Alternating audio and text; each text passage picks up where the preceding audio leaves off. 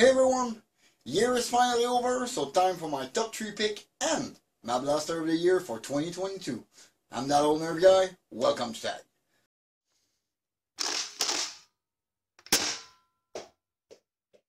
Twenty twenty two. My top three pick are blaster I really think you should check on or you should just buy if they are interesting you because those are some of the best I reviewed or I had between my hand during the year. Plus, my blaster of the year is the one that, in my sense, is above those top three pick and is the one you really can go without in 2022 and in the upcoming 2023. Since Buzz Bee didn't really uh, release any interesting blaster in that sense, then there is Nerf. Nerf really just flooded us with a bunch of reskin and reshell. They brought us some new stuff, but it was the Nerf Pro Gelfire, so it was not really that good. The Hyper, I can't really give you a top pick for Hyper, even if that Impulse pistol was really neat because it felt like it was almost up to what they were promising us with every feature on it. And maybe the Alien Pulse Rifle, which seems like the redemption of Nerf Limited. But Nerf and Buzz Bee will be out of this list. Sorry for that. Now, let's start with X-Shot. X-Shot really tried to renew them, themselves this year. They changed color on the XL for the red and the gray, dark gray pattern, which is really, really nice. They brought the Phase Blaster, which were clear with red internals. And they brought the Fortress, which was basically a turbo fire uh, with, a, with a different shell.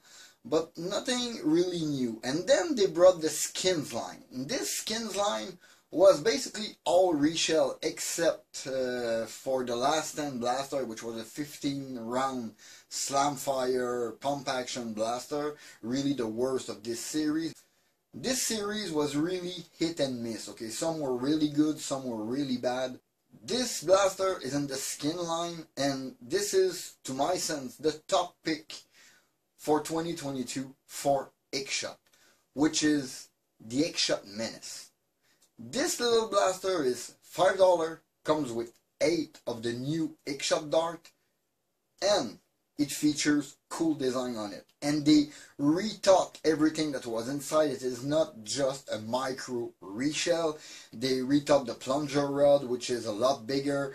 They rethink a lot of things inside. You can really open it easily. And it almost 100% accept half dart out of the box. And if you remove the dart post, you are set. This thing will work with with half dart for five dollar.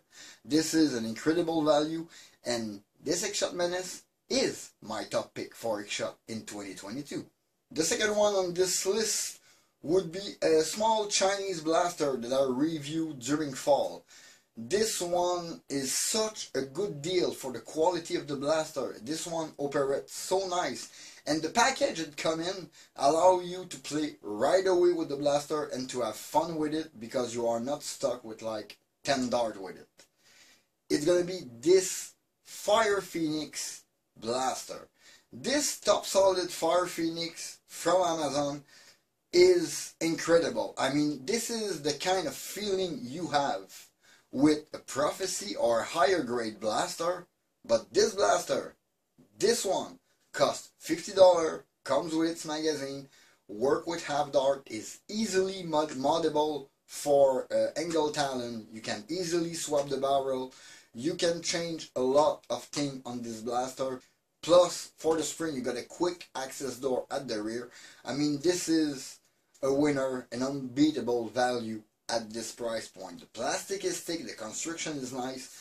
This Fire Phoenix would be my second top pick for 2022. If it's your kind of blaster, go ahead. Buy confidently. This is a good one. The third one on this top pick list for 2022. Uh, it was almost the Dart Zone Pro MK 2.1 for top pick. Let me explain. They were bringing a MagFed pistol to the market. The problem is Dart Zone was a bit late to do that. And it felt like it was a little rushed into the market and with some corner cutting here and there.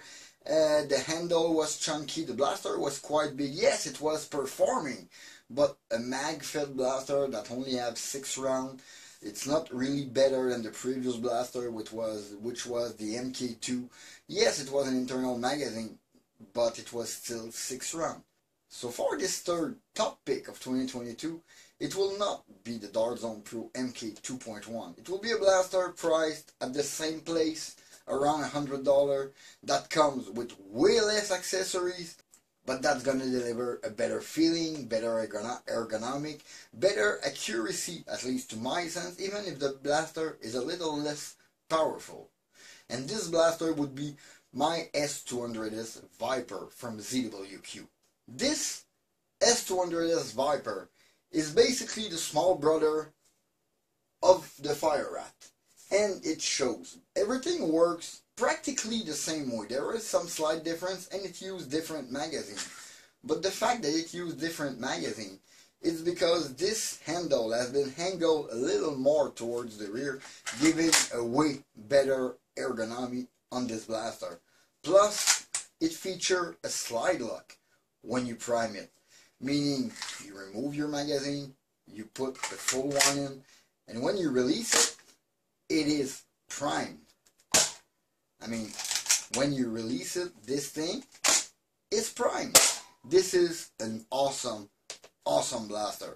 I really think you can't go wrong with this one. The quality, the craftsmanship, the research that was done, and if you own the holster to go with your S200 uh, Fire Rat, it will work with this one because they share the same uh, trigger guard on both blaster. Yeah, I really think another top pick, another blaster you should check out is this ZWQ S200S Viper. Those are my top 3 pick for 2022 and now it is time for my blaster of the year. Uh, as I was almost taking the MK 2.1 into my top pick, of course I can't take it for Blaster of the Year. But Dart Zone kind of flooded the market this year with Pro Blaster. They released a ton of them, and that made my choice a little harder because I like my Blaster of the Year to be available. So Dart Zone is always a good place to go. I like it to be powerful, not too expensive, and somewhat innovative to the hobby. And I think this one is the one blaster you really can't go without in 2022. And if you don't have it, please run for one in 2023. This blaster would be the Dart Zone Max Tomcat. This Dart Zone Max Tomcat is pretty much a dream.